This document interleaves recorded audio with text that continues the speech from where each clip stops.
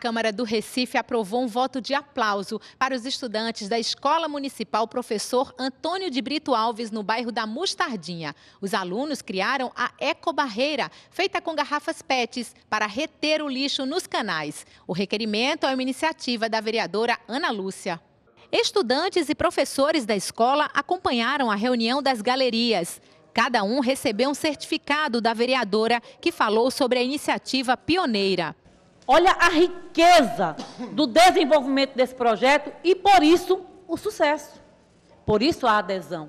Por isso que essas meninas e esses meninos se identificaram tanto e fizeram essa participação e eu tenho certeza que não vai parar por aí. Os vereadores Ivan Moraes, Gorete Queiroz, André Regis e Jaime Asfora também exaltaram a preocupação e o comprometimento ambiental dos alunos e que a Prefeitura do Recife possa olhar para essa escola com o carinho que ela merece. É para que projetos como esse se multipliquem e que a gente tenha cada vez mais escolas é, como referência, propondo soluções para os problemas do nosso dia a dia. Né? Que a Secretaria de Meio Ambiente reconheça o trabalho dessas crianças, que possa é, dar escala a esse projeto, que com certeza absoluta, se bem implementado, pode mudar a vida de muita gente na cidade do Recife.